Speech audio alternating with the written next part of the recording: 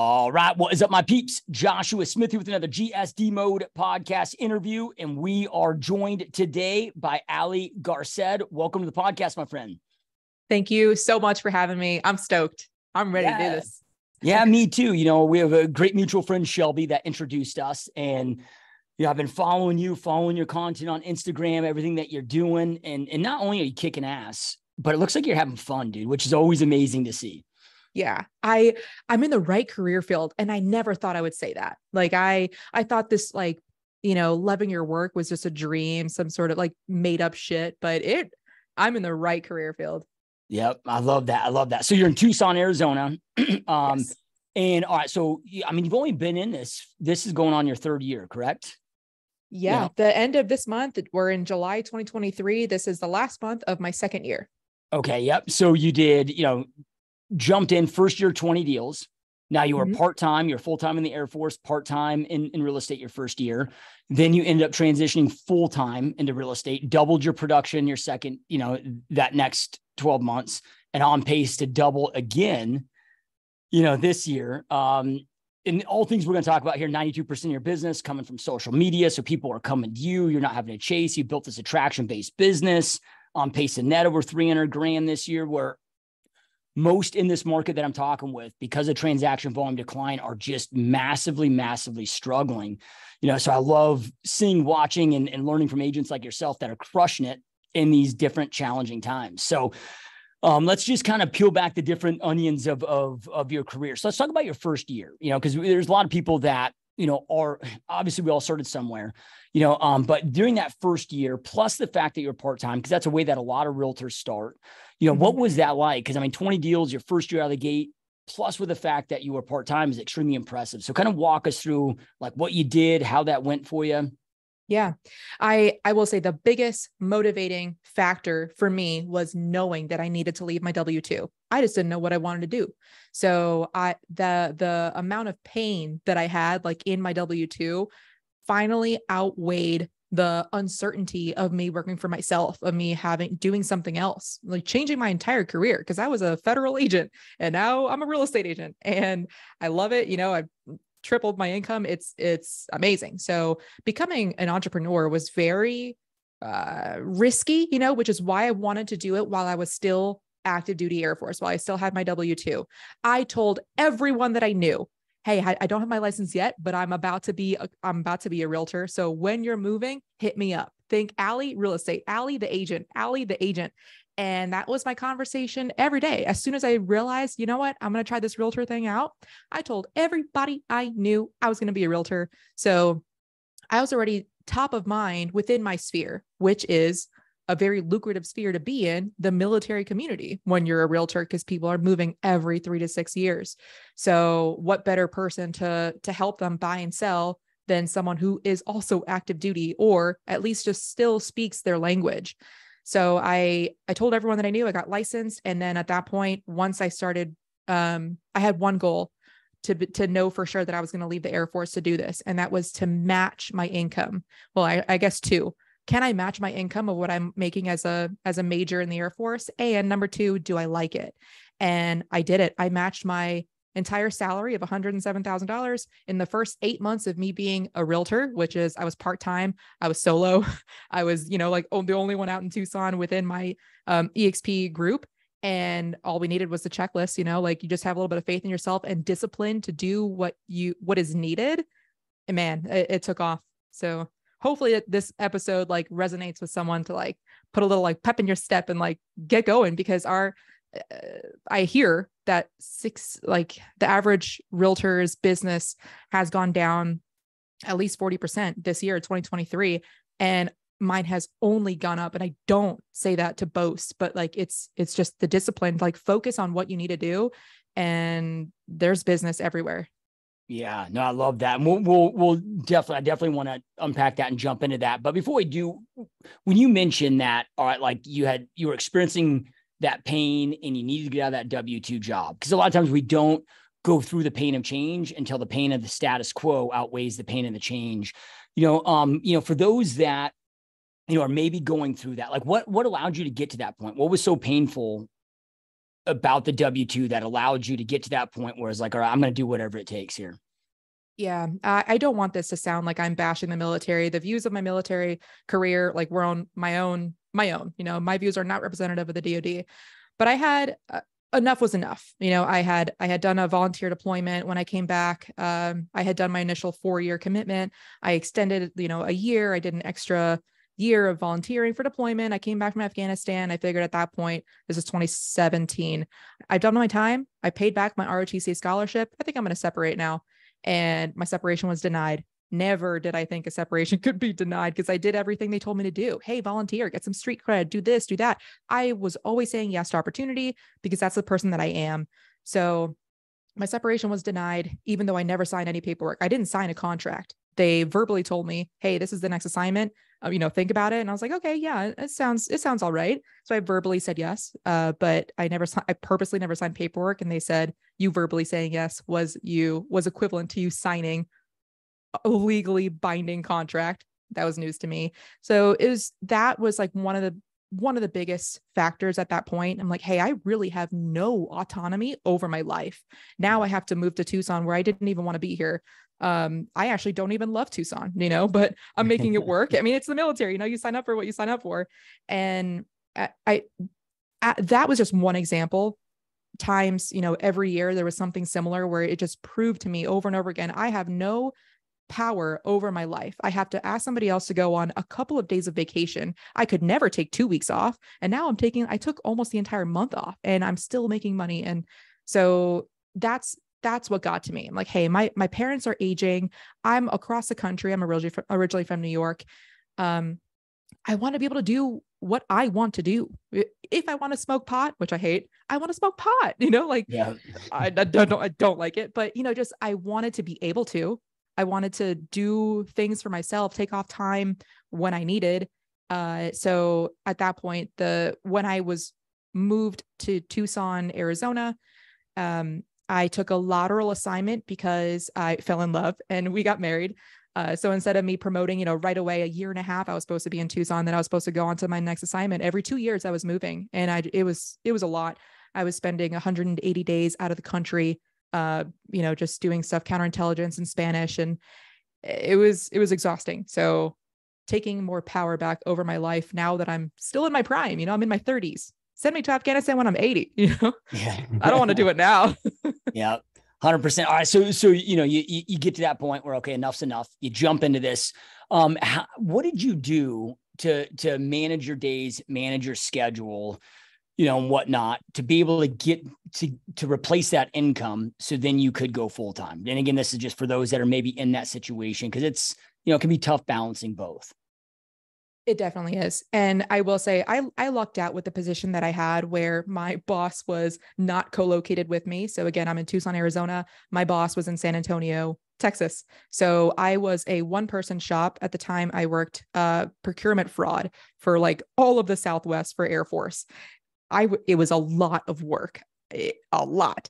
Um but being that I was doing a mixture of remote work and in-person work, I'm still talking to people I I'm still talking to a lot of people, military and civilian, with some sort of like Air Force nexus. So I knew very early on that my goal was to have six conversations about real estate every single day in order for me to make an average of $308,000. So that was my number. I just stuck to that number every single day. I woke up and I thought six. Who are those six going to be? And those are not six new conversations. Those are, I did a mixture of three nurtures and three new. So um, knowing that at some point during my fraud time, you know, during my federal agent stuff in the military, I'm gonna talk, you know, we're building rapport, smoking and joking. I'm gonna talk real estate. And I'm I'm telling everyone that I know, hey, I'm actually about to leave. I'm only gonna be in this position a, a year more. And they're like, what's the next question? Oh my God, what are you going to do? Are you going to go work for the FBI or, you know, wherever else everyone thought I was going to do? I'm like, no, I'm doing real estate. And everyone's like, what? You're going to leave, you know, having a gun and like all this, you know, quote unquote, like power. You're going to be a realtor. You're going to show houses. I'm like, yeah, dude. They're like, okay. They're like, actually, you know what? My mom's moving. Do you think you could help them? Yes, I can. yeah. And that's what it was. Every single day, my number was six Now, are you uh, are you still following that methodology? Yes, 100%. Yep. I actually have it on my whiteboard. I could probably show you after. It's in my closet over here. So I, I had it hung up. I became obsessed, like obsessed of of making sure that this worked because otherwise I still plan on separating. What the hell was I going to do after that if, if being a realtor didn't work? I I knew that I had to make this work. So it wasn't like in order to double each year, it was just a compounding momentum of these six conversations. And obviously, you're getting better with the conversations and get some referral business in there too. But it's just that kind of compounding momentum of doing what you started out of the gate that is just continuing to add to this growth. Yeah, definitely. And while I first started, my first year, I was, it was less referrals, although, well, actually, it was like 50 50 referrals and those like me working with buyers and sellers. Um, and my second year was, and now I am mainly a referral agent. And that's because I had so many clients, me talking to them as many people as I could. And the power of social media where I can talk, it's not one to one anymore. It's one to however many, you know, a thousand. Um, I can, that my message goes out further. So I, it was in the middle of you know my workday where i was talking real estate i was showing homes during the weekends uh, at night in the evenings and it was it was a lot of work. It was completely unsustainable. Could i do that for two years? Probably not. I would have burned out. I was already starting to burn out my year one but i just wanted to make sure i can i can make the income that i that i was making previously. Yep love it. So then um all right so with these with these six conversations you know you mentioned okay like half nurture half so that's at least three new conversations with three strangers that you mm-hmm. haven't had. You know, so I know that those watching and listening, the next conversation is going to be like, okay, like, how did you initiate those? How are you going after those? You know, is that just somebody in the grocery store or is it more intentional with like, I don't know, calling FSBOs? I never got into cold calling for uh for sales because I already had a lot of I, I really just utilized my sphere. Like bottom line up front was my sphere and my social media. The more I would put out there, people would then reach out to me saying, Hey, what did you mean by the VA loan doesn't have a credit score or like doesn't have an income limit anymore? So that's that's what would initiate those conversations is me not so much the grocery store stuff, but me talking to an attorney or me talking to people within my at regular workday. And those people would know of someone else. It was actually kind of rare when my personal sphere was moving, you know, that year, but it, they knew of someone else. And that's where they, I already became a recommended agent for them. Hey, I know somebody that I already know, like, and trust. You know, let me connect you to them. They can help you sell your house. Yep, love it. So then, were you were you heavy on social media before this, or was that something that was just kind of you know clicked and registered and, and grew since you started this real estate journey? I was heavy on social media. Uh, okay. i you know but it was completely useless at the time. You know I, I saw like i was making money from social media then. So now you know once i became a realtor i realized that this is you know this is perfect. I can get my uh, my i can educate my sphere more and more doing something that i'm already doing already which is posting and making videos on social media. Doing the video portion was, um, I, I think, a huge increase to my business because previously I didn't really like doing videos. I just would rather do text or like photos, something boring, but that's what everyone else was doing. And I needed to stand out. So yeah, I don't care what my hair looks like. I'm going to make a video, you know, and and I'm not going to like dress up. Uh, this is this is what I wear every single day. I wear a backward hat and a t-shirt. Like this is me. I am your military realtor. I'm not the one in high heels being like, "Oh my god, this is such a beautiful kitchen. Don't you love this home?" That's not me.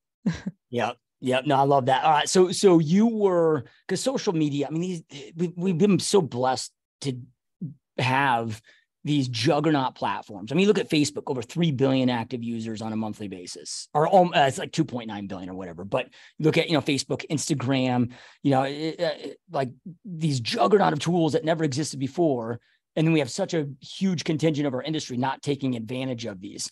Uh, and I really want to get into strategy because I think that most, at least most that I talk with, not sure what your experience is, but we talk with other realtors or team leaders or brokerage owners. They, they understand the power of it they just don't know what to be posting and what to do and how to utilize these tools. And okay, so before you, I mean, you were on there, we were all, you know, like most of us have social media accounts, but you were using it from an entertainment kind of mm-hmm. perspective. Now you're like, okay, I need to get intentional with this tool and use it with intention.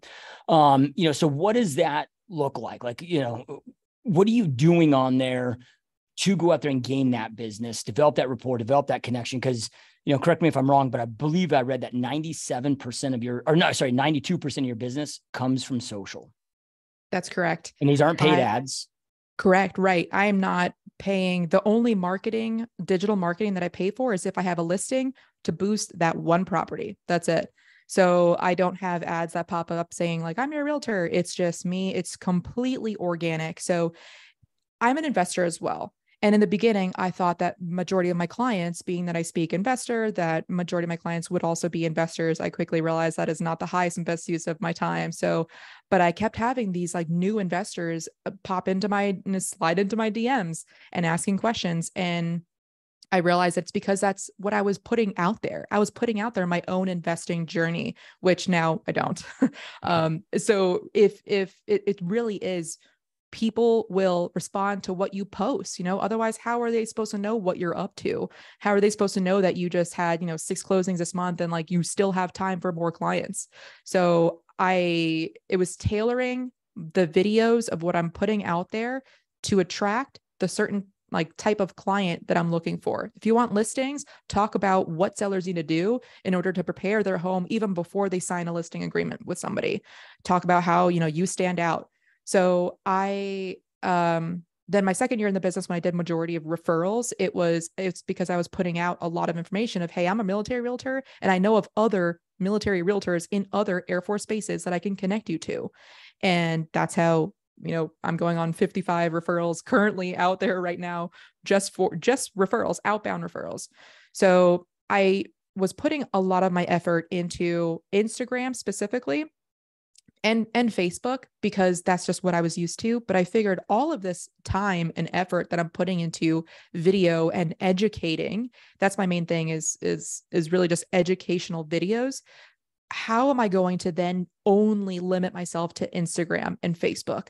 I need to step the shit up. I need to hire a video um, an editor because I don't edit. I don't want to learn how to edit and I need to hire another VA to be able to post on all my all of my accounts because why am I not on LinkedIn or TikTok or everything else, right? So right now I have two people that I've hired. One edits. Once it's edited, good to go. I send that link to the VA on the Philippines who posted on six different social media platforms. What now seven with threads.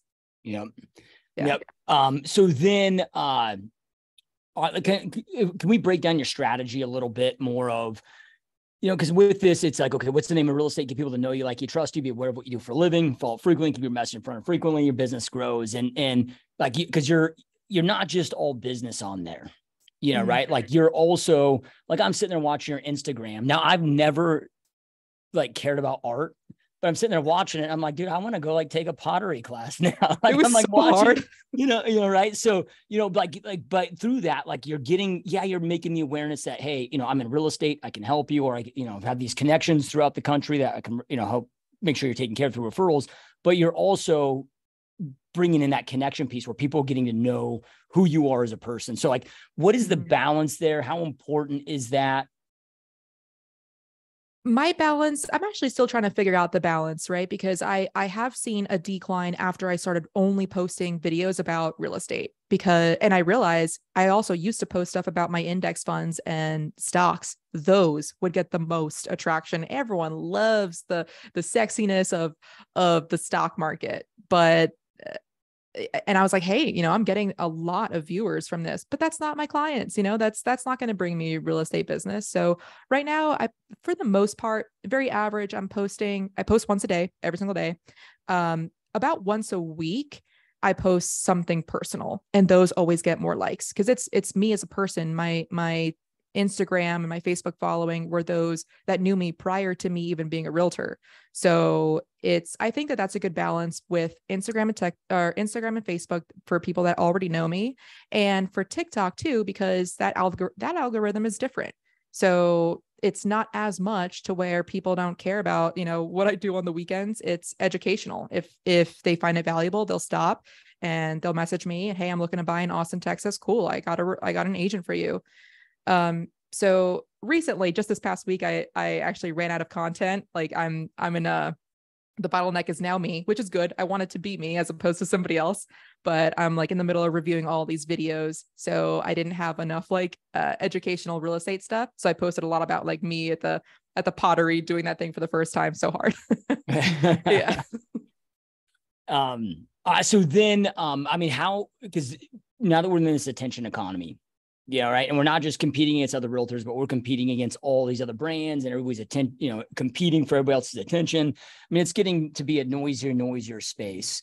You know, what have you learned as far as, you know, frequency, you know, to be able to have that impact to stay front of mind? I mean, is it, you know, at least a piece of content a day? Is it, I mean, do you have some, you know, an intentional strategy with making sure you have X uploads and X ways styles on a daily basis? Right now mine is what a day on now seven platforms. I really tried to figure out you know what type of content to put out there and and how to tailor it like you know the lights that i have and just the quality of the video has to be somewhat decent. But i really feel like the content the educational piece is more important. Even if they can't see what color your eyes are if they realize now that they can use their va loan twice out at the same time like hey that's that's worth it for them. So that's what i'm focusing on now especially since i listen to a lot of like other um, bigger instagram and you know tiktok realtors where they have a lot of roundtables, you know, saying like, "Hey, what's working? How do you know what's going to work?" And a lot of them end end up saying, "Hey, I really don't know what's going to work. I posted something that took four hours, got you know very little traction, and something that I didn't think took off would take off took off. So it, I really feel like it's kind of spaghetti on the wall, and I've seen that for myself too. Something that I just half-assed did while I like just woke up, and I'm like, "Oh, this is I should probably send this out there, get this out there." Half-ass, you know, take a walking video of me where the video is shaky, but the content is somewhat good that will get more responses than me, you know, setting up the equipment perfectly and everything. It, it kind of is spaghetti at the wall. Yep. No, I love yeah. it. Yeah. And, and you kind of have to do that, right? Because it's like, I mean, they're always changing the different algorithms. You know, like Instagram was so heavy on reels and they, re- you know, to compete with TikTok. And then they realized, okay, we overplayed that. So now they're, you know, essentially trying to keep everything more balanced, you know, right? Um, so there's, yeah. you know, different algorithm for reels versus stories, but they're trying to keep it more well balanced. And, you know, it's like as soon as we think we get this figured out, they rug pull. you know, yeah, so, yeah, absolutely. Yeah. Uh, um, all right. So then, okay, now do you because you're, having these conversations out of the gate and then eventually it became where you know now today in a very quick amount of time you know so much you know became so much referral based now are you being intentional with the relationships that you have? Like when you're having conversations like driving them like making sure that you're connected on social so they're seeing mm-hmm. your stuff because it sounds like you're almost using these platforms as like a social crm i am yeah I, I mean i also do of course use a crm but it, it's true. And I actually just the other day, two days ago, I set myself up on Client Giant and because uh, I am so bad at giving gifts, so bad. Like ter- gift giving is like the worst love language, like the lowest of mine. so I'm like, I'm thinking back about who are like my VIP, right? Like who always sends me referrals. And there are two of my friends that just, they're always thinking of me. They're across the country. They're not even here in Tucson. So they hook me up with referrals. They hook me up with, you know, whatever. So I wanted them to be on Client Giant. I actually reached out to one of them who I haven't spoken to in maybe six months. I'm like, hey, um, I just wanted to can I, first of all, can I have your address? I want to there she was like, oh, I'm in the middle of moving. Like, why? I'm like, hey, I just want to thank you for always sending me business. So um, I want to give you a small gift. And the next day she texts me saying, Hey, I have a seller for you. I'm like, man, the, the more you give, the more it comes back around. And I did not expect that. I just wanted to thank her. Like, I am terrible at gift giving. I need to hire this out. That's the way I think. Like, what am I bad at? Pay for somebody else to do it. And then that way my friends are taken care of that give me business. So that's yeah that's how i'm i've been operating. Yep. No i love it. So then um uh, so when it comes to when you're you know when you i mean you did 20 deals your first year then then you double then you're on pace to double again. A lot of people don't understand this until they experience it but sometimes growth pains can be harder than slow pains you know like like what's it been like for you to be able to continue that scale? What have been the challenges? What are things that you've had to maybe do differently or make sure that you've had in place? Like you mentioned okay you had to hire you know two vas for helping with the social content. You know what have been other things that are continue to allow you to scale at this pace the very first one was a TC. That's an absolute no brainer. After my very first transaction, I only ever did one transaction without a TC. If you don't have one, you're you're wrong. Like you are wrong. you can grow so much more with somebody else to do all your paperwork. Because why are you doing it yourself? Of course, you can maybe do it like better the first time, or maybe even faster. But that it doesn't matter how fast you can do it. You can use that time to get more clients. So TC, and then it was the editor, and then it was um, the VA. I also have an assistant. Um, she currently lives in Tucson, but we haven't met in person. So she's a VA right now doing a lot of my other admin that does not require a license. So back end stuff like, hey, can can you make sure that this video looks good before it's posted? Um, I'm not I'm not sounding stupid, you know, it's just random stuff like that. Check my email. Um, so that has been a tremendous help. And it's not at the cost that you might think. And a lot of in the beginning, I was adding up everything per year, right? Like, oh, if I'm going to add, if I'm going to now pay for an editor, how much would I be paying per year? But that was because that's what I was used to being in a W 2. Like, how much am I going to be making per year? What's my salary annually? And I realized that was a wrong way of thinking. Um, first of all, you can have a fucking free trial period. you can, or you can just have a short trial period. It doesn't have, you don't have to commit to one year. You can commit to two weeks. Does it seem like you'll be able to work with them? Does, does it seem like they're picking up on what you need to be done? Um, and cut it off after two weeks if it's not a good fit, or you know, continue it a month, month at a time. So that that was one hurdle that I realized I had to get over.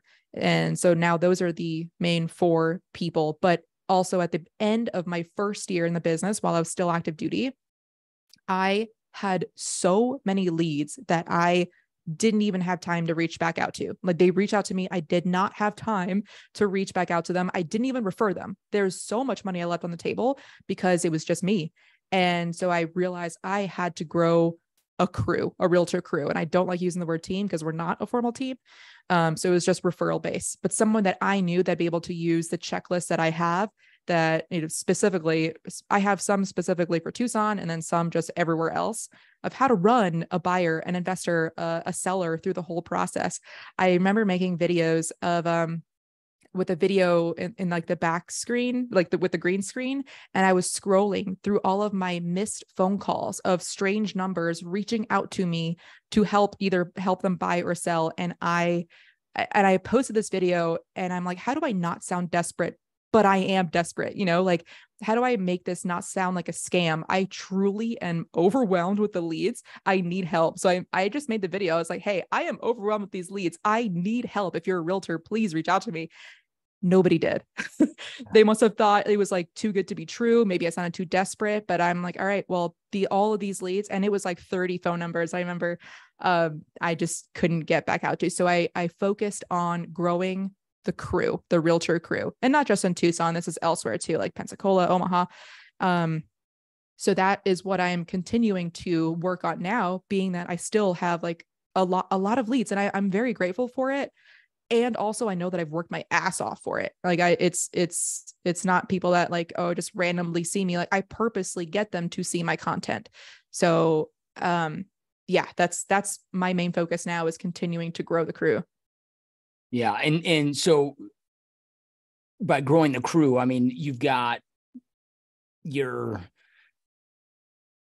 are you leveraging that like if we break down your Tucson business and then your nationwide referral business, right? So then in Tucson, are you leveraging agents, you know, as part of your crew, not a team, just referral base, you know, for your own production where you're, you know, trying to phase out of that Mm-hmm. And then your crew in all these other strategic markets where you have a lot of reloads going and taking place.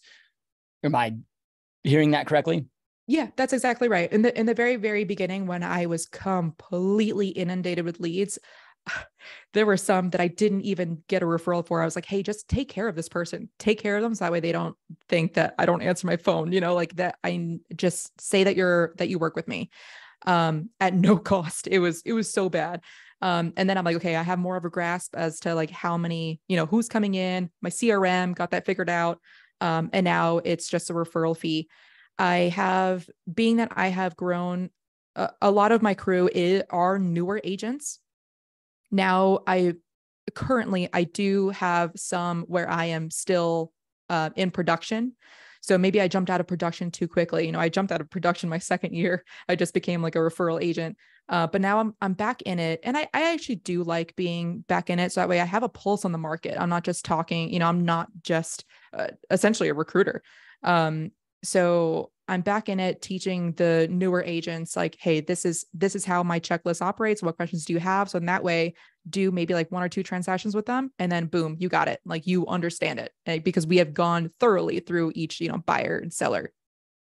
Yep. Yep. So you yeah. refine those processes, those checklists, deliver that to them. Yeah. And then the cool part about that is you get to kind of be picky and choosy of who you want to work with.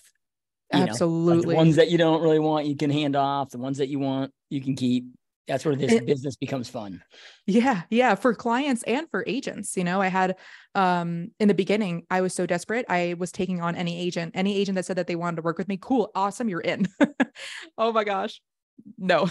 Uh, so now i'm like very particular as to who i allow in. A lot of people will you know self-select out before they even join you know because I, I, tell them we don't just we don't give you leads. I, I actually at this point i do not give out leads until you have done three buyer transactions already three seller transactions already. Otherwise you're not going to practice on my fa- my friends and family. That's not you know i have a reputation to uphold.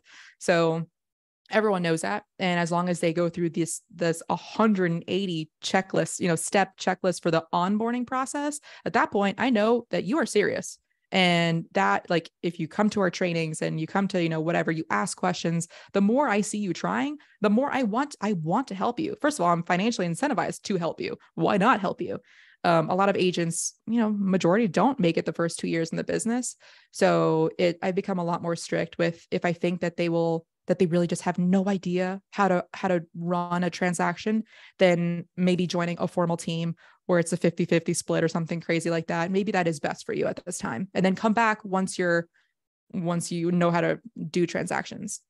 Now with these kind of nationwide you know the strategic referral network nationwide now are these are are these like other you know kind of military air force towns? And is it like in the same niche you know or is this you know hey like as long as i've got the right person i'm assuming with referrals it's it's based on that relo business but is that correct some, yeah, majority of of the my referrals are do have some sort of Air Force nexus, or really, there's a lot of Army now too. So just some military nexus, but not everyone that's joined the crew uh, is military or even you know knows how to talk military, because I also have that investing background too. So and so I I get clients that way and there are agents that are have never been in the military would never join the military which good on them that are part of the crew and killing it Yep. Awesome. Yeah. And, and is this, you mentioned earlier that you're with EXP. Is this, you know, other EXP agents that you're bringing on, or, you know, also a strategic way to build your downline with that? Or is this, hey, if this is an agent with another brokerage, but they can, they're amazing, they can get the job done? Because I guess when you're doing referrals through referral, it doesn't matter, you know, which organization they're with. Right. Yeah. With my referrals, I don't care as long as you're good. I don't even, I don't care what brokerage you're with. Um, and I, I, I feel like brokerages like to keep it in house. You know, they they'll make more money. Um, I don't care if I get paid two weeks later. I don't give a shit as long as that client got a good transaction. You know, so it's it's that's my main goal. Yep, love it. So, uh, so I'm kind of jumping around here, but a question about okay, so you're posting a piece of content a day, seven different platforms. You have in a, in a VA doing this for you. Are you guys utilizing any kind of posting tools or you just providing them with a VPN where they can log in and post for you from an organic, like, you know, yeah, on your behalf?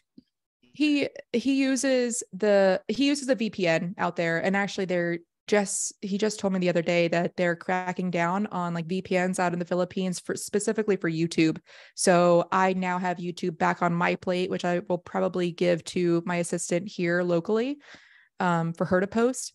Because if if you're to choose one social media um, account, it should be YouTube like Google business page, Google's number one website in the world, then YouTube, which is a search function. You know, it's not the algorithm like TikTok is, where it's just randomly whatever they get.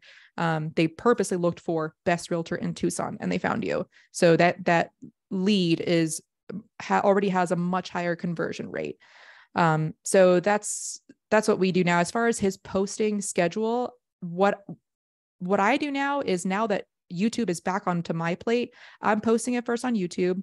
The VA is downloading that video from YouTube, keeping the same quality and like mute, you know, voice, not degrading anything. I don't know how he does it, honestly. Um, and then he's just dispersing that into the other platforms. Whether he uses a scheduled um, something or another, I don't know. Maybe I should ask him. I don't know. Don't care. Is done. yeah. Uh, and, and and I'm assuming then, you know, other than a YouTube short, if it's a long form on YouTube, you know, the editor's going out there and, and repurposing, like cutting it up, chopping it up, adding captions, then they can disperse it on Reels or TikTok or whatever. Actually, that is done by my assistant here using Opus, OPUS. Okay, yep. Uh, yep. So I sign up for Opus. So worth it. Like it, it yep. will chop up the video already have you know the captions on there where you can edit super quick add some different colors instead of the yellow and green and then repurpose that content. So yeah that's what my assistant here is doing. Yeah and then when it comes because we spoke a lot about instagram um, but when it comes to youtube and with that youtube long form like moving to tucson arizona um, and i agree like youtube is managed to the juggernaut. I've never seen any type of a platform where, where for new business you know with such high conversion rates I mean, it's yeah. just crazy, you know. Um, but what are some of the, you know, kind of best practices, things that you've really learned, advice that you would give for those wanting to start their own YouTube channel? You know, because it's a little bit of a science as well. It definitely is. It it is a lot of science. I would say way more science compared to art than TikTok or or any of the other social media. So I I purchased for a whopping 2.99. I purchased TubeBuddy which it goes hand in hand. It's like an extension for YouTube where, and the only uh, TubeBuddy offers a lot. The only thing I know how to do on TubeBuddy is the keyword explorer.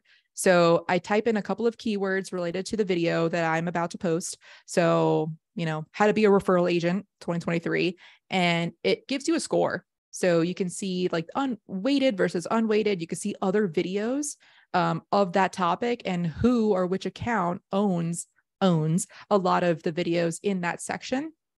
So that that helps a lot. I've actually been on a bigger, like a really big Mr. Beast uh kick right now because I'm because yeah. he's Mr. Beast, you know, with the biggest YouTube following ever. And I realize I'm I have to switch up my the way that I do things because he does the title first. He thinks of title first, which is the last thing I was doing, and then he does thumbnail, and then he does the video. So um, as long as that that title is you know the perfect score then he'll make the thumbnail and he pays i mean like 40k for one thumbnail. I'm not there yet you know? Um so the i had been doing the opposite. I had been doing the video and like oh what do i talk about this video? Oh i talk a lot about the va loan. Okay cool. And then i make a title of the va loan. But making sure that in the first five to 10 seconds of your of your long form YouTube video matches the title and then matches the description, the first line of the YouTube description. At that point, the YouTube algorithm will be able to see, okay, yes, no shit, that is what they're talking about. Let's push it for anybody that look that searches those keywords.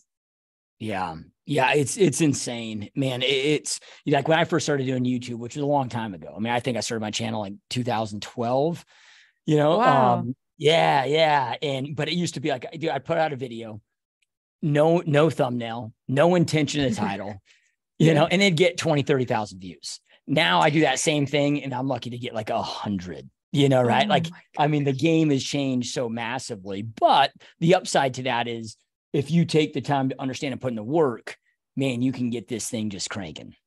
Yeah. And it's really, and I might be talking at like a I don't know, I might be talking at a higher level where that might scare some people out. Even with you getting 100 views as opposed to like the 20,000 they used to get, there is still room for you as a realtor. So if you are not on YouTube, get on there and like ah, I don't know if you have I I have a perfectionist problem where I I want everything to be perfect.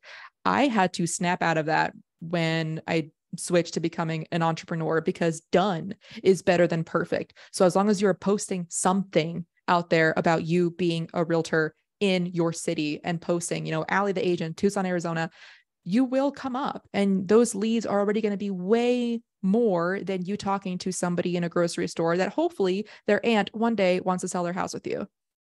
Yep. Yeah, hundred percent. And the cool thing is too is like you don't need that many views because our it's like we're trying to be you know YouTubers where we're making all that money off AdSense, right? It's you know because we sell such a high end product. Like like one of my agents on my team here in Phoenix, you know, I mean her, I mean she has some videos where she gets thousands, but I mean most it's like three four hundred. You know, but dude, like you know, March. Now this was not her normal month or normal month is about half this, but March she did ten deals just from a YouTube channel you know it's just crazy dude you know um and, and usually she does about you know but just by herself you know between five and ten deals a month like i'll take that all day long right uh, oh yeah you know um and with our price points it's pretty good business right um yeah. okay so then from there when it comes to the youtube video itself right because you gotta you know you gotta create great content um um you know, but you got to get people people to reach out. Like, have you found any kind of best practices from like inserting call to actions? You know, when it comes to like the actual video itself. I have gone back and forth about where to place the call to action because typically it the call to action is at the very very very end where they already got the juicy you know the media information. Cool. Thank you. And on to the next video that they're going to watch. And then they didn't realize that your call to action was hey i can i can help you. I'm a realtor. Um so i am going to start placing my call to actions in the beginning. Um like hey i'm a realtor in tucson arizona. I can help you buy a house. And then like and then hit the title so also having the call to actions in the description too helps a ton. But in the beginning, I used to think, I, I don't want to be that salesy person and like call me, call me. My business friends on referrals. I fucking hate that. you know, like oh, okay, no shit. But also, what does that mean to the average person who doesn't know that? So um, it's it's inserting it in between, you know, or even in the middle of your long form video. That'll that'll work. Just as long as I guess the, the best videos right now are like 10 to 12 minutes long if you're doing long term, long form video on YouTube. 10 to 12 minutes long, get the information out there.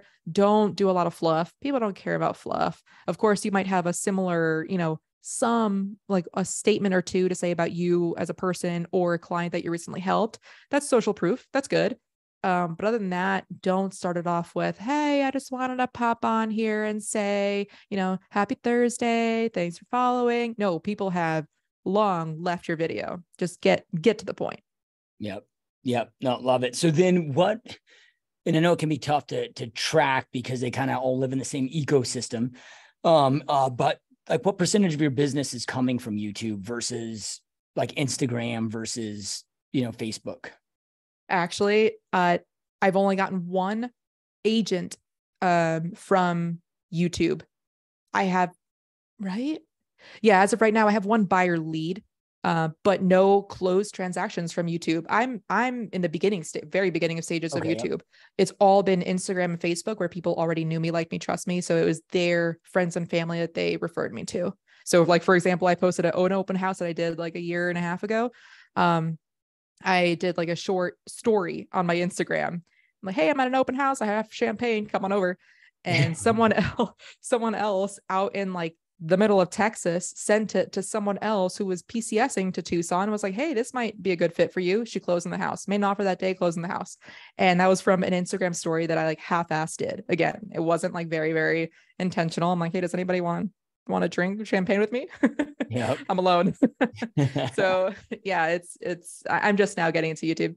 Yep, love it. So then, and it, and it could be when I said it, you know, it could be tough to track because it's all in the same ecosystem. Like what we found is, well, a lot of people might discover us on YouTube, but then they might then go hunt us down on Instagram. Cause like on YouTube, okay, they're getting to, I mean, cause that's more business, you know, right? Like yeah, they're, yeah. you know, getting to, to, you know, know you and know the market with that. But then they, you know, might connect with us on Instagram to get know, get to know who we are more. They'll slide in through it, you know, Insta, you know, DM. But then once we start working with them, you know, well, how did you know, how'd you first discover us? Oh no, I first discovered on YouTube. And when we think it was something like it, it's, you know, those, those again it's that that ecosystem that's all together right? So it really is. And and even if you were to try to track it down um you know how did you first hear about me? They might have forgotten you know they might have followed you on instagram for a couple of months now. They forgot they even originally found you from a friend who sent you the youtube video. It, it's it's hard to track down. Yep Yep. All right. So then, I mean, I was looking at, you know, some of the stuff that you sent me over. It's like, okay, you've got it broken down. What your per hour is on buyer, what your per mm-hmm. hour is on referral, what your per hour is on on sellers, you know, how many combos, new business nurtures you have to have every day. you know, how important has it been for you to understand and know your numbers um, throughout your business? What impact has it made? It's everything. Oh, that that's everything. Without that number, and I started off so I'll, I'll, start with my salary. You know, I wanted to make three hundred and eight thousand dollars a year, and I heard that from a random podcast. Hey, the average agent that that makes that has six conversations about real estate every day, that they make an average of three hundred and eight. I'm like, boom, done. Let's use that. So I started from three hundred and eight thousand. I broke it down to how many conversations is that uh, quarterly, monthly, weekly, daily. So, and that's six conversations every like seven days out of the week because I probably work even harder on the weekends. Um, I have a problem. So, yeah. six days, six conversations every single day. And, you know, knowing that not all those conversations are going to lead into an appointment. Um, but every appointment that I have, 50% of them will end up in, in a seller, um, etc. So it was in the beginning when I wanted to make sure who am I hiring and is it worth me paying them this amount of money? So I wanted to make sure how much am I making per hour working with buyers versus sellers versus referrals? And I um I I had a um a I guess a what do you call it? Like I knew what to compare it to because I was making a, at the time 107,000 as a as a major in the Air Force. So $107,000 divided by how many hours a week that I work, cool. I know I know my hourly way my wage pretty much and I didn't want to go do anything below that. So if I found a task that could be done by somebody else that was below that, for example, editing, posting, um, you know, sending a couple of emails out, I was going to hire that out knowing that at that point like my my my hourly pay is worth more than that. So then I wanted to see if um, I'm such a big nerd, and this is all done like just via Excel sheet, but I, I wanted to see is are listings actually the way to go? You know, like because I actually kind of like working with buyers more. So I broke down, including my dead leads, my leads that never tr- that never um, ended up closing. I broke down per hour how many hours I spent with each person that I ever worked with, whether or not we ended up in a sale. And I did that for the sellers, my buyers, and referrals. And I disproved in my personal bin, bu- business that listings for me are not the way to go. Uh, I actually make the most working with buyers. I make $453 per hour working with buyers. And that's because I I mean, I had majority of that during when I first got licensed during the biggest, you know, COVID peak and when it was the hardest to get your buyer's offers accepted. I had my shit down, you know, like client expectations. Like, no, you, you know, no shit will be able to narrow down knowing exactly what you want versus need versus you know what a deal breaker is you'll find that the amount of properties that are on your list truly are only between 5 and 7 homes. And that's that's the truth. I'm not trying to like manipulate them. Like no shit. You'll your your list is not going to be 20 homes long. We're not going to be looking at 20 homes. We'll look at 5 that like no shit are ones that you want to place an offer on. Um so and then for referrals, I made an in between amount, and that was like $360 per hour working with each referral, with finding the agent, um, communicating with the agent, negotiating like the, the referral fee. I do 30%, and then commu- um, co- putting everyone in contact together, and then the follow up, pinging in every couple of you know weeks. Hey, how's it going? Are you under contract yet, etc and making sure that the that the buyers have a good uh, transaction or if not hey let me find you another one and let me put this agent as my never to do work with list because they never even got back to you so and then same thing with sellers and i realized that i make the least amount per hour with sellers. So it was it was crazy. I didn't know that. I'm glad i did that. Yeah yeah i, I do the same thing with with you know myself personally and all my agents on my team here in phoenix where you know within our monthly p&l i mean we break it down you know based on buy business sell business i mean how much it costs us how much it costs our time you know, because I mean, my whole entire career, like I've been told that, oh, dude, you got a list to last. The name yeah, of the yeah. game is in the listings and the sellers. And, you know, I've just found that like, look, there's a sub, you know, a, a contingent of our industry that maybe that's true for. There's also a lot that that's not true for, you know, so it's like, hey, where are you strong? Where you weak? What do you mm-hmm. enjoy? Mm-hmm. You know, plus I started looking down this. I'm like, if the long game goal is to maximize lifetime value of each customer, well, the lifetime value of each customer through repeat referral business is much heavier on the buy side. Like I love listings, don't get me wrong, but I've also tried to keep my business always at least 50% buy side because they become those raving fans, you know, like of, of that, you know, it's like 90% of repeat referral business, at least for me historically, has come from the buy side, not necessarily the sell side, you know. So, but it takes breaking this down so we can really understand what, you know, what it's like for us in our own businesses. Yeah. Without that, I would have continued only trying to get listings. And uh you know like now i'm like hey wait buy i got my buyer shit down yeah. Uh, so but either way of course my favorite is referrals especially since i don't have the time to handle honestly i don't have the time to handle more than five clients at one time and that's with me doing the podcast that's with me doing everything else uh so i am switching to try to go back to mainly being a referral agent yeah well plus that you know investor portion of you you know, I mean, it's just a sense, it's an element of leverage, right? Absolutely. Yep. So then, um, all right. So, you know, you mentioned that 40% or you, you heard a stat that agents, the average agent's business is down 40% this year, which makes sense. Cause if you look at transaction volume nationwide's down 37% year to date, you know, um, here in Phoenix is down 39%. So it makes sense that, you know, that's down. Your business is up, but you're also, you know, working your ass off. You're intentional you know so whether it be you or your agents or so if anybody's watching or listening to this and they're they're one of those that their business is down like what is it taking in this market to go out there and and i mean are you having to work that much more? like what what's your focus like? What what does it look like to not just keep your business the same and survive but you're thriving right now? I don't watch the news. I do not like i am so focused on me and my crew and you know what's next my clients that uh, that's it. I mean i i also have a very internal locus of control where i uh, not to get like too philosophical here but i'm i don't believe in god. Like eh, i am so if it's wrong it's up to me to fix it. And you know like i i definitely understand how like people will just at some point it's overwhelming. Like hey i need somebody else to take control. And i, I can i can get that.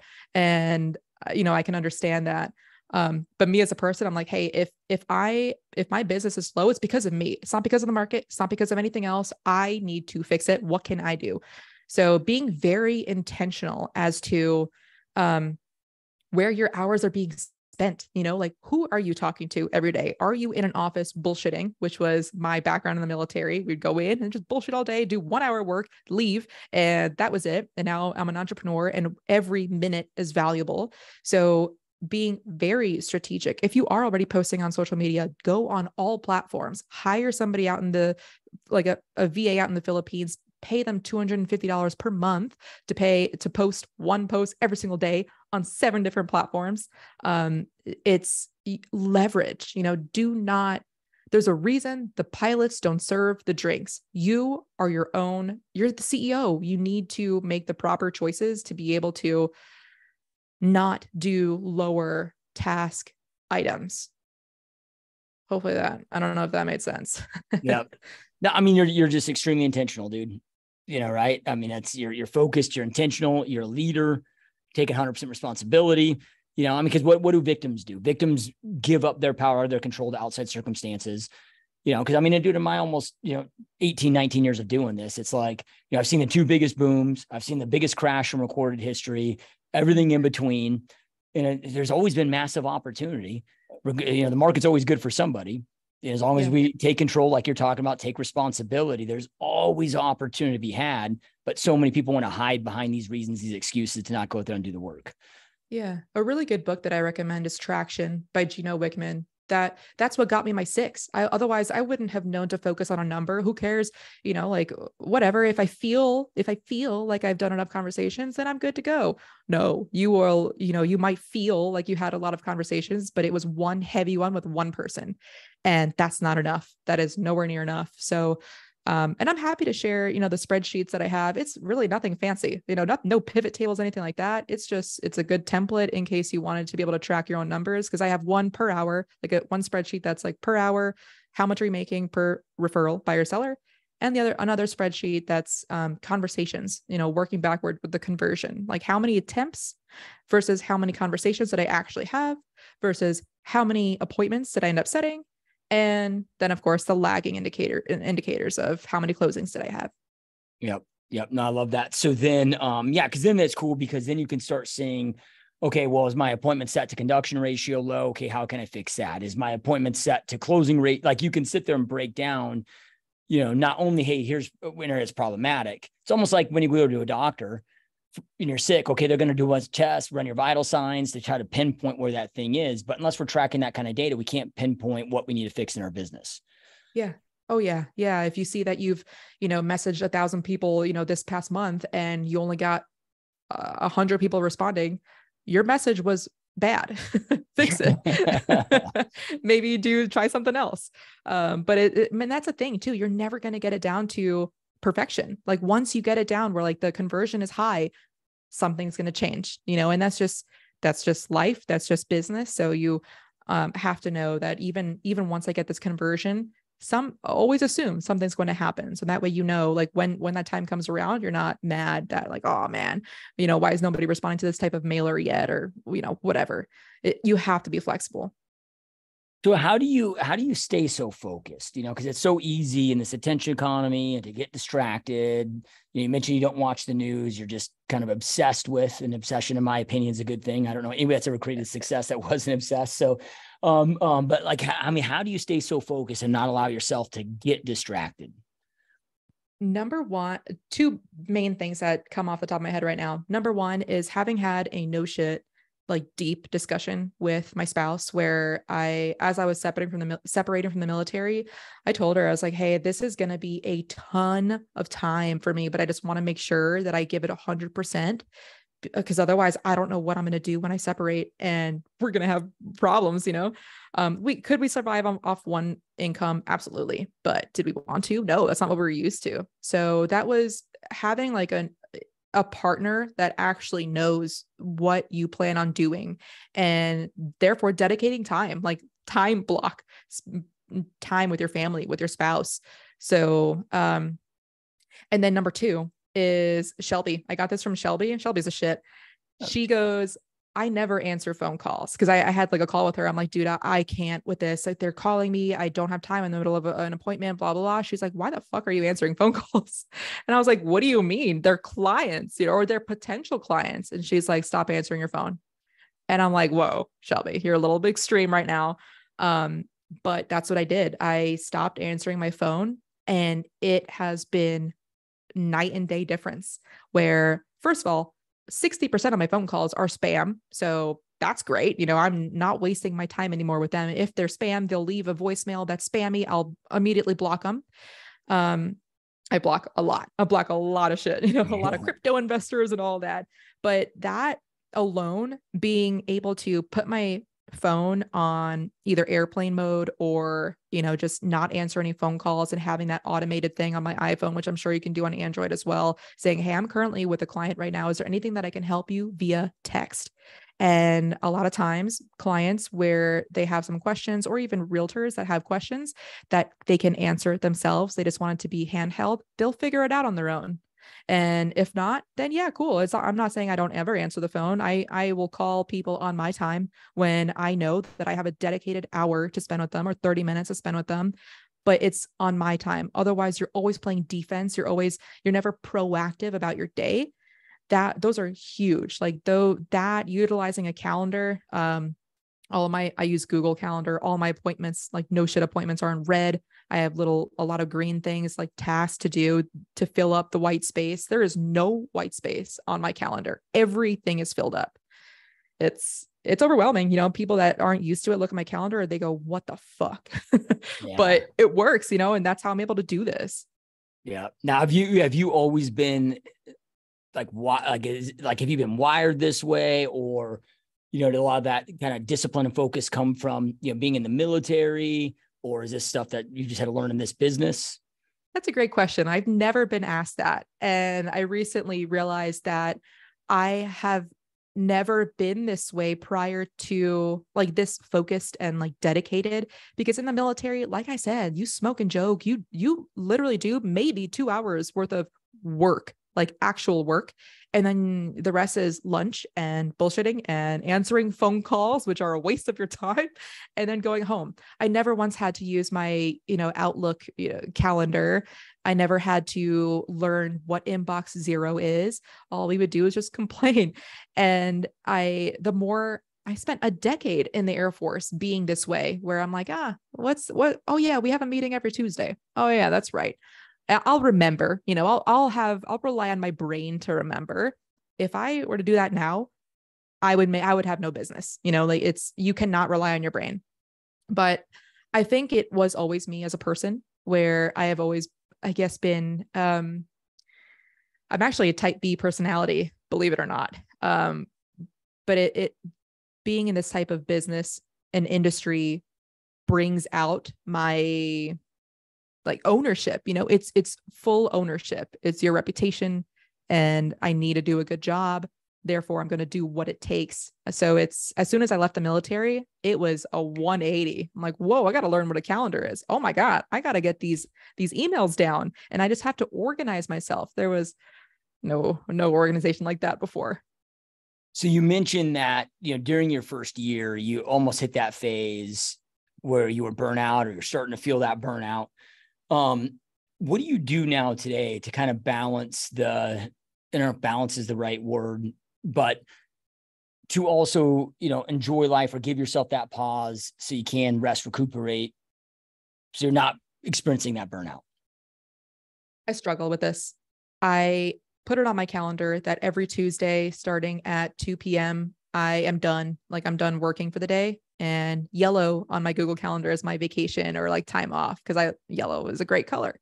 And uh, so, but every Tuesday, I'm like, you know what? Why would I drive one hour to go? Because Tucson's really big. Why would I drive one drive one hour to go get a massage, be there for an hour, maybe an hour and a half, and then drive the one hour back? That's like almost three and a half hours that I could be working.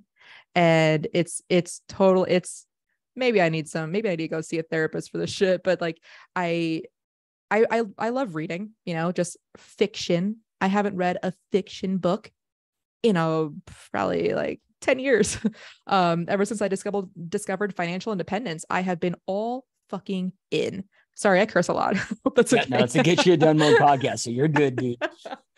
yeah. So um I have just been completely obsessed. So when I need to calm down uh and like just refresh my thing I know is to get a massage and to read a fiction book on my hammock.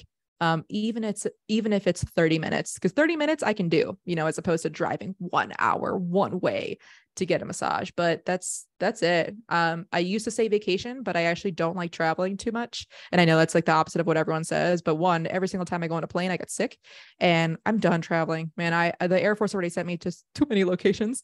I just want to break. I want to chill. I want to be a couch potato yeah. Yeah. I think it was Seth Godin.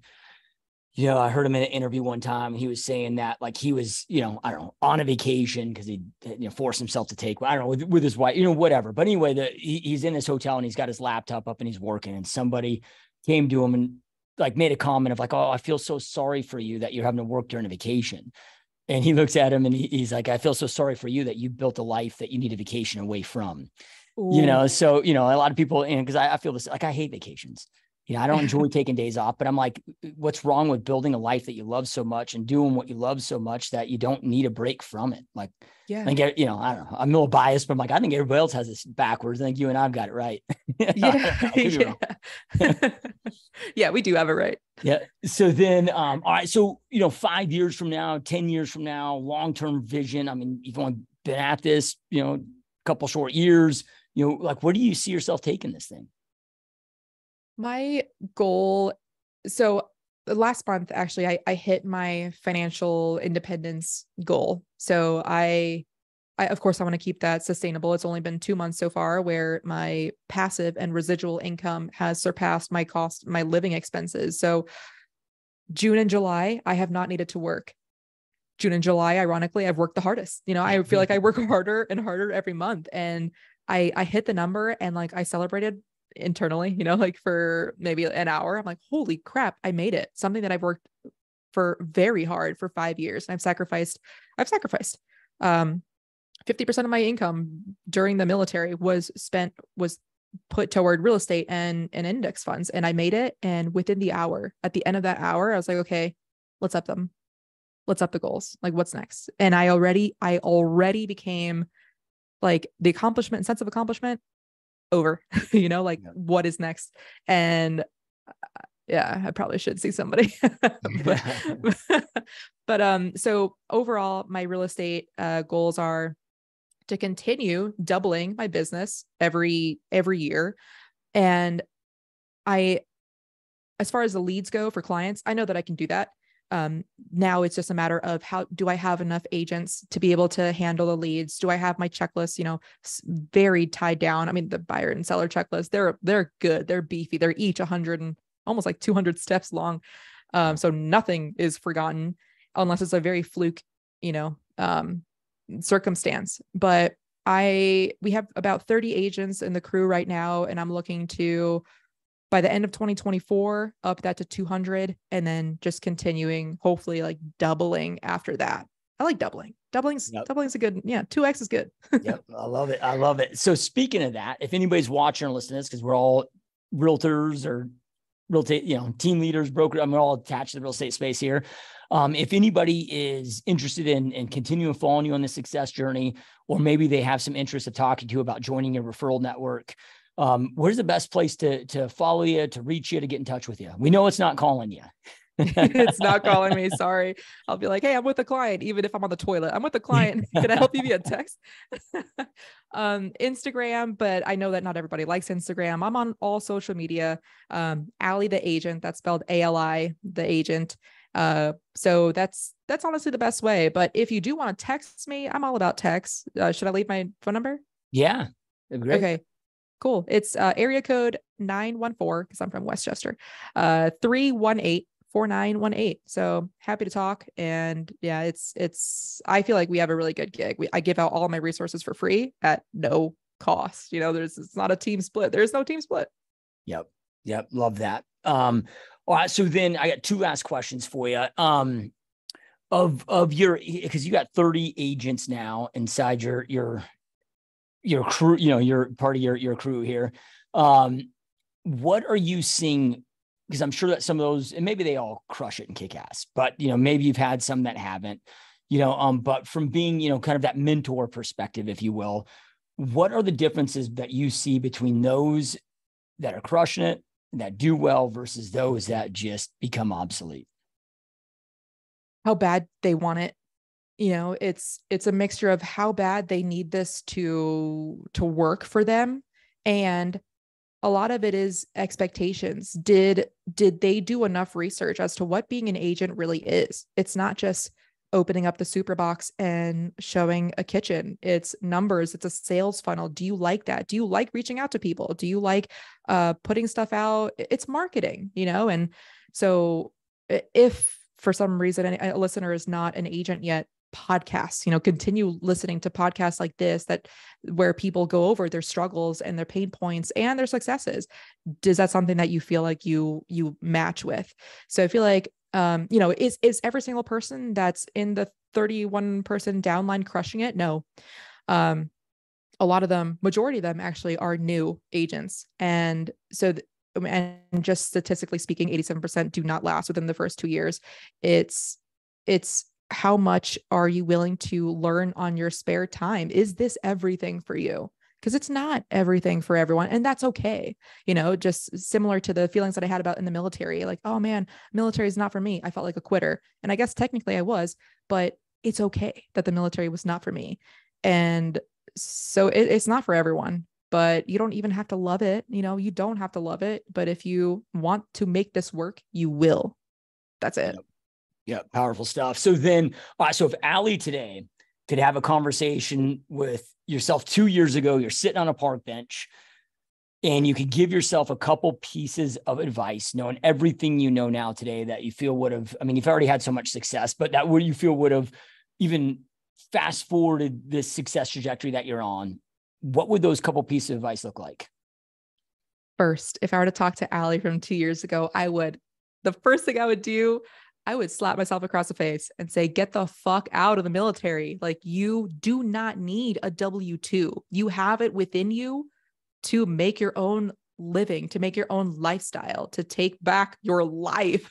um, after that, then I would say start with um, start with YouTube if I were to do it again, like honestly, to get clients to come to you, right? Because that's that's what the name of the game is. Like, how do you want to be reaching out to clients forever? No, you want them to come to you. So start with that right away and start on YouTube. Um, put more focus specifically on who you want to work with what type of client whether that's va loans for buyers or you know um i don't know a korean speaking community for you know sellers it doesn't matter whatever your target niche is, which you need a niche, do not, you can't work with everyone. Otherwise, you will tire yourself down completely working with clients that do are not deserving of your time. So focus on people that, you know, that you like interacting with already and make that your target audience. And and yeah, I would say like just go on YouTube, start start getting your name out there, get over the fear of video. Who cares? They're going to be seeing you anyway. Yep. Love it. Powerful words of advice. And Ali, we truly appreciate you taking time out of busy to be here. This has been absolutely amazing. Joshua, thank you so much. This was great. Yeah, 100% my friend. And those watching, listen, as always, we truly appreciate you guys being here, all your support. Keep crushing it, keep kicking ass, and we will see you next time. Peace. Peace.